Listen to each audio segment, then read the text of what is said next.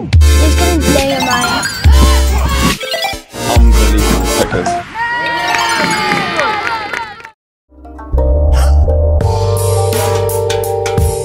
It's number two. I told you the last time we did the trick and we're gonna do the second one and it's gonna get a little bit harder. We're gonna put the ball between our knees again. In the last episode, you had to move your leg outside. But what you're gonna do now is move it inside. It's gonna make it way harder because you have to go around the ball and get under it to continue jumping. It looks like this.